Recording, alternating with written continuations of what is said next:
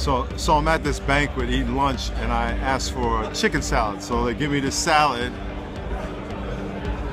and I stick my fork in what I think is chicken and it ended up being tofu. And I don't know if you know what tofu is, but it's not chicken. I'm expecting to get something kind of chewy and this, this thing is mushy and I spit it out.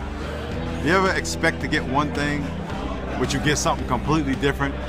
You know, some people are like that with God. They expect God to take all the fun out of their life. They expect God to be, you know, boring, when in fact God is better than you think. And because people expect less of God, they don't go to God. They don't trust God. I want to challenge you. Trust God with all your heart because He is way better than you think. It's not going to be like expecting to get chicken and getting tofu. It's going to be expecting to get tofu and you get chicken. So this right here,